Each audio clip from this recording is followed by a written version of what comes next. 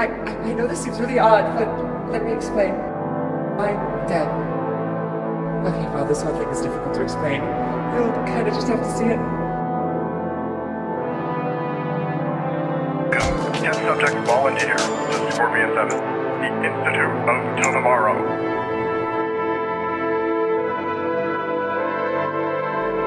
The only advice I can give you is to keep your sanity protected.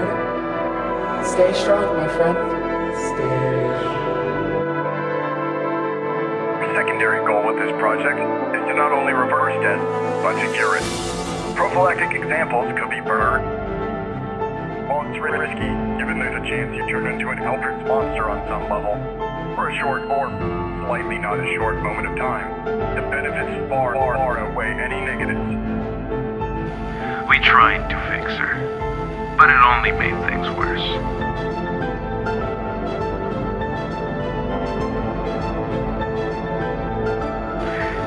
All the possibilities of my experiments, this was among one of the worst outcomes.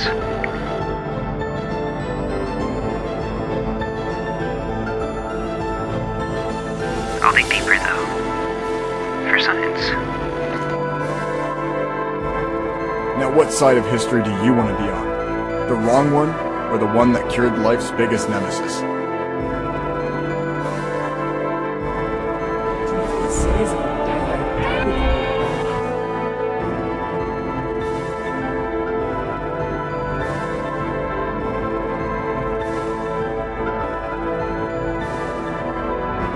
I almost convinced myself that it wasn't as bad as I recalled it to be, but Zachary Zackerson speaking.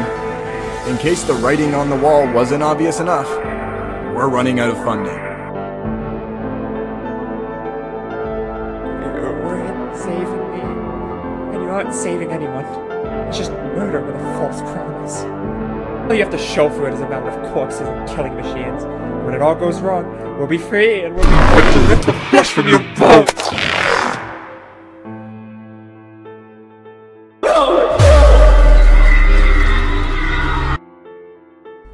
Thanks again for trying.